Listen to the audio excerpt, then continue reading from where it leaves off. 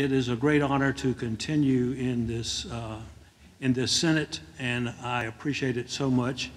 We look forward to rolling up our sleeves in a couple of weeks and getting to work. And uh, as I said the other day, I'd jump out of an airplane without a parachute to follow Senator Berger, and uh, he, he leads the way, and we are lucky to have him at the helm.